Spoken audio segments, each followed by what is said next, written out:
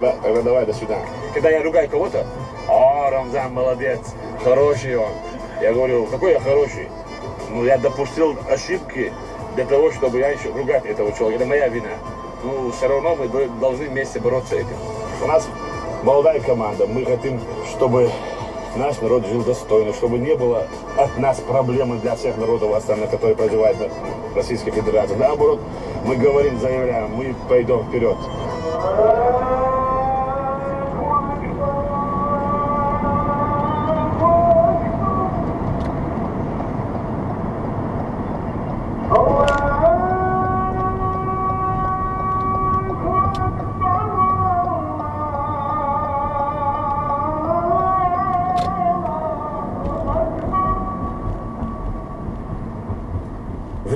Молитвы. Этот жест я видел много раз. Так мусульмане сопровождают каждое упоминание Всевышнего, неважно вслух или про себя.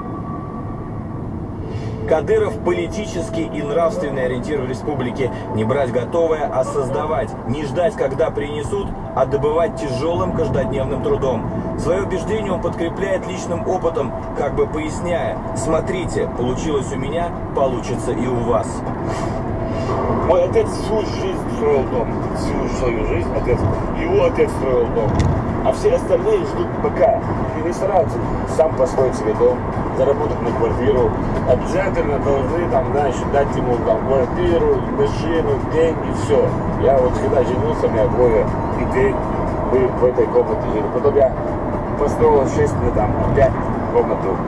Потом добавил там спальню комнату из гаража сделал там. Надо нам научиться жить. Вот как говорим, значит, там, а не выживать. Граждане нашей России думают, что а, наши все налоги уходят в Чечню, и чеченцы живут хорошо. И наши налоги тоже уходят в российский бюджет. Мы живем в правовом государстве, и у нас абсолютно нет никаких привилегий. Все, что мы получили, даже восстановили мы Грозный. Ахмад Хади написал еще письмо в начале. Путин, Путин отписал, решить вопрос. И решил, теперь Грозный в одном ряду с самыми успешными городами страны. Мы можем ими гордиться и Москвой, и Петербургом, и городами Золотого кольца, Поволжья. Я вспомнил бы еще один. Грозный. Грозный отстроили, отстроили прекрасно. Помню, в каком состоянии он был, и как при помощи всей страны Чеченская республика смогла его воссоздать в таком виде, в котором он, наверное, никогда раньше и не был. На Кавказе темнеет рано. Мы договорились продолжить съемки после захода солнца. Кадыров сразу предупредил. Освобожусь за полночь. Дело обычное, объяснили люди из его команды. Бывает, по трое суток не спит. Отпускает министров и помощников на несколько часов отдохнуть, меняет охранников и продолжает работать. Я абсолютно уверен, вот эта камера не передаст всю красоту ночного Грозного. Обратите внимание на высотки, которые переливаются всеми цветами радуги. От этого места, где я нахожусь, ровно 10 минут пешком до резиденции главы Чеченской Республики Рамзана Кадырова. И прямо сейчас, в полночь, он пригласил меня сыграть с ним в футбол. Отправляемся на футбольный матч с Рамзаном Кадыровым. Поехали!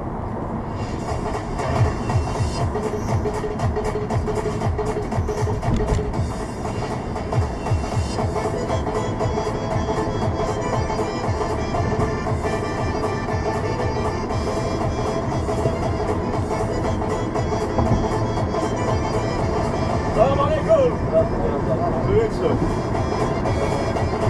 Какой был тебя? Ну, все равно. Не надо добраться, да, побегать. Как скажете, так и будет. Нам надо серьезно играть, ты как каждый игрок. Надо серьезно играть.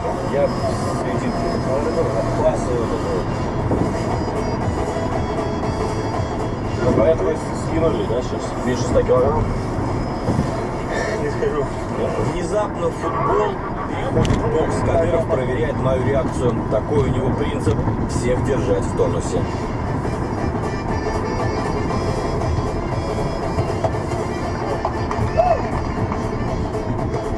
Отличное поле, я вам скажу. Трава, свет, но чего-то не хватает. А, трибун. Объяснение, признаюсь, удивило. Оказывается, на поле прямо у президентской резиденции может играть любой желающий. Абсолютно. Надо только подать заявку. А трибун нет, чтобы зрители не шумели. Все-таки здесь принимаются важные решения.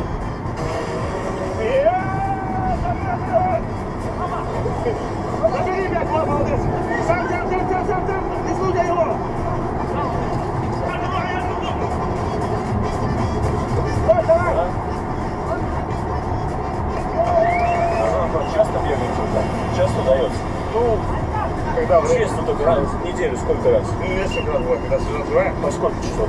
Так, Ну, полтора часа, два часа, полчаса называть на время. всем зрителям МТВ пока я отвлекаю нападающего центрального. Лучший нападающий.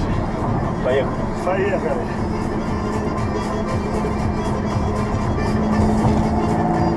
Второй тайм команды заканчивали без двух игроков. Меняет центрального нападающего. Разговор у кромки поля начинается снова с проверки моего боевого духа. Стоят. Вы освободились там всего пару часов назад, и вместо того, чтобы уделить время, не знаю, той же любимой семье, вы на поле. Они не обижаются на вас, родные, близкие? Что днем вы работаете до упора, а ночью вы на поле. Ну, я здесь чем-то после 11. Да. Пришел же в это время мои дети спят.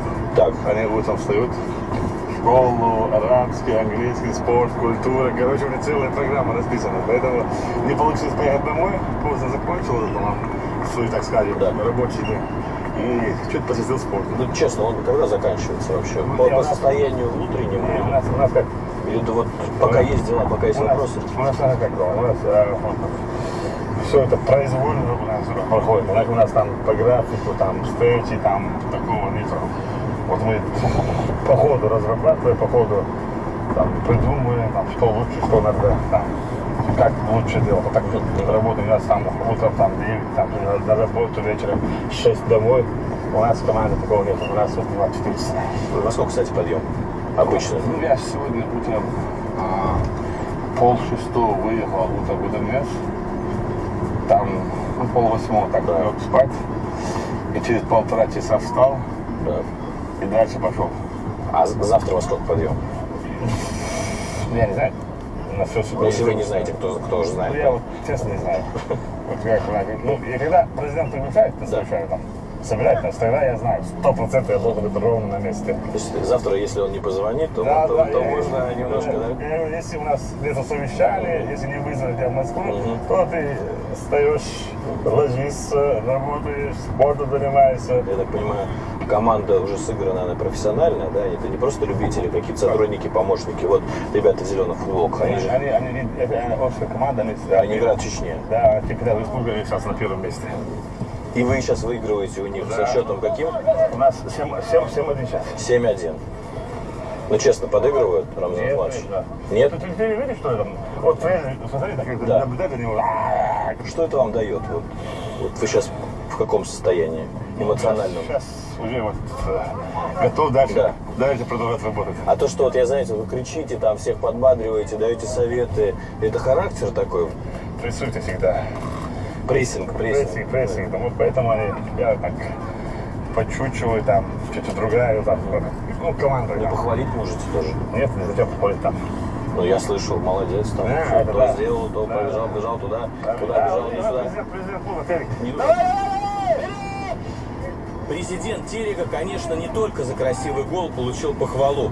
Главная команда Чечни сейчас по меркам российской премьер-лиги очень серьезная сила. На красавец стадион, на котором можно проводить матчи самого высокого европейского уровня, приходят десятки тысяч фанатов. Футбол в регионе любят. Неизменный гость на трибуне Рамзан Кадыров. И болеет он так страстно, так по-мальчишески азартно, что в самые острые моменты точно не думает, как бы сохранить солидность, положенную для руководителя его уровня. Ликует и переживает, как простой фанат. Да, это точно самый эмоциональный глава российского региона.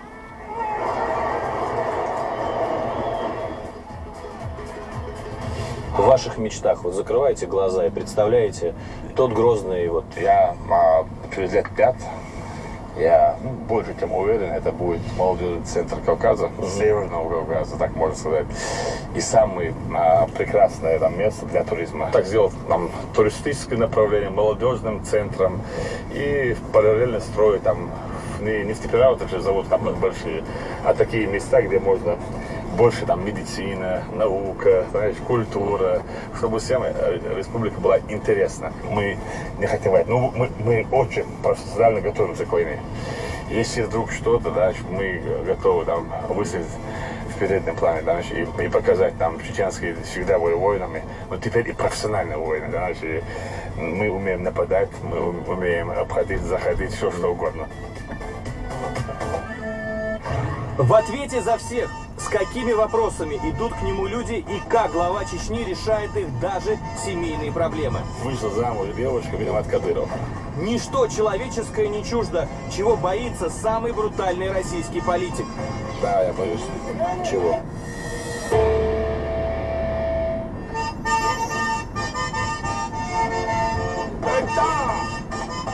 Все нормально.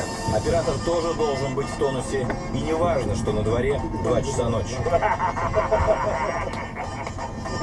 Если футбол Кадыров играет на любительском уровне, то в других видах достижения серьезные. Мастер спорта по боксу, шестой дан по тейквондо, а еще руководитель Федерации шахмат Северо-Кавказского федерального округа.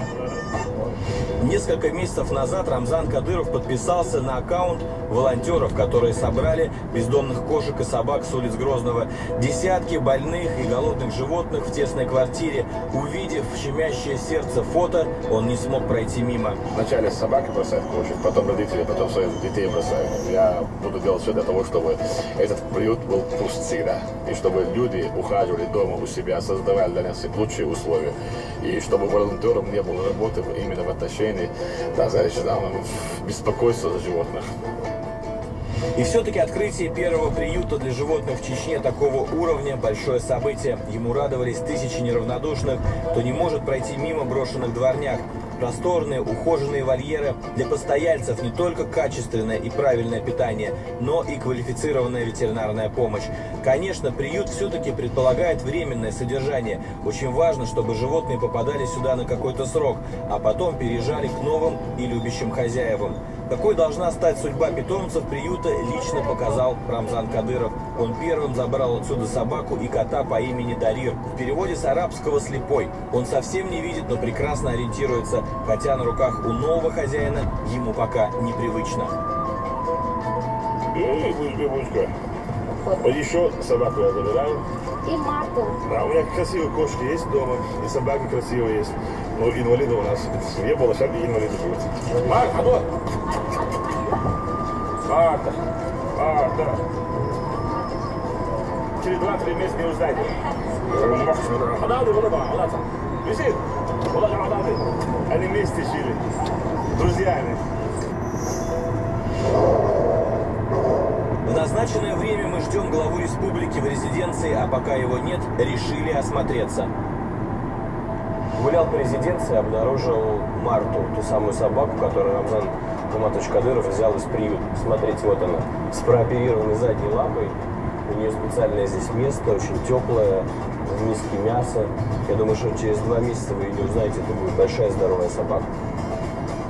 Нету аккредитации на президентскую лошадь. А раз нет аккредитации, лошадь сниматься не согласна. Здесь везде свой подход. А вот и хозяин резиденции сразу идет на футбольное поле посмотреть, как играют сыновья. Для него скамейка запасных – непривычное место. Это упитанный, вот этот вот. Самый упитанный. Там упитанный.